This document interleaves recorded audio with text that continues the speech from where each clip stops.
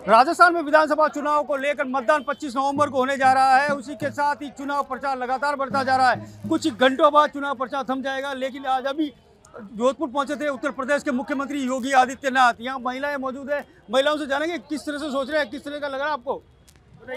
मेरा नाम राजकुमारी दवे है और मैं पिछले 93 से बीजेपी में कार्यकर्ता हूँ, सक्रिय कार्यकर्ता।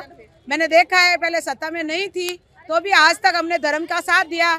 धर्म भारत एक धर्मनिरपेक्ष राज्य है और आज योगी जी का जो हमने भाषण सुना है चुनावी सभा में तो मुझे लगता है कि आज जितनी संख्या यहाँ थी उससे डबल जीत हमारी होगी और कमल के फूल को निशान देके हम वोट देके हम आज विजयी बनाएँगे और जय जय श्री राम। जिस तरह से आप देख रहे हैं जय जय श्री राम के नारे भी लगना शुरू हो गए क्या नाम है बताओ। मेरा नाम सोनी है। सोनी जी बताओ किस तरह से लग रहा है आपको चुनाव का? चुनाव का माहौल बहुत अच्छा लग रहा है।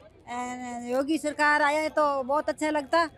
एंड योगी की तो अच्छा बहुत बहुत है। थैंक यू हाँ, जिस तरह से आप देख रहे हैं योगी जी को थैंक यू दे रहे हैं। योगी जी आए थे योगी जी से क्या उम्मीद है आपको? हमें उम्मीद है कि जो महिलाओं की जो हिंसा हो रही है वो अब हिंसा बीजेपी के राज में खत्म हो जाएगी और एक सुशासन स्थापित होगा। जय जय श्री राम। जिस तरह से जय जय श्री राम के नारे लगाए जा रहे हैं अभी आप कुछ बोल रहे थे बताइए। अशोक जी की दीपावली जैसे जैसे सफ़ाई कर देंगे हम जोधपुर से। बहुत अच्छे से सफ़ाई साफ़ सफ़ाई करके बाहर डाल देंगे। कमल ही खिलेगा जब से बीजेपी सरकार आई है तब से हमें राम मंदिर देखने को मिलेगा। हमें सौभाग्यशाली हम लोग कि हमारी आने वाली जनरेशन को भी ये मौका मिलेगा। ये सिर्फ़ मोदी जी और योगी जी के आने की वजह से ही हुआ है। जी आप बताइए। जी इस बार कमल ही खिलना चाहिए। बस आप लगातार यहाँ पे कमल खिलने की बात की जा रही है आप भी यहाँ मौजूद है। किस तरह से लगा योगी जी का आप पूरे जोश और जुनून में तो भैया हम पहले ही थे। और मैडम ध्यान से।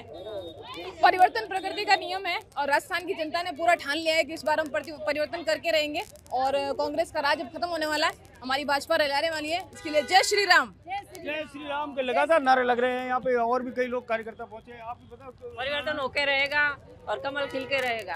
आप सबसे बड़ी बात है कि महिलाओं में जिस तरह से यो- योगी आदित्यनाथ को देख कर जो जोश चढ़ा है, उसी के बाद लगातार ये इनको ये लग रहा है कि ये सोच रहे हैं कि अब परिवर्तन होकर रहेगा। सबसे बड़ी बात है कि ये सरदारपुरा विधानसभा सीट है, जहाँ से मुख्यमंत्री अशोक गहलोत, कांग्रेस के प्रत्याशी है, उनके सामने professor doctor professor Mahendra Singh Rathore है। अब देखना ये है कि 25 तारीख को क्या होता है। जोधपुर से करणपुरी, एबीपी न्यूज़।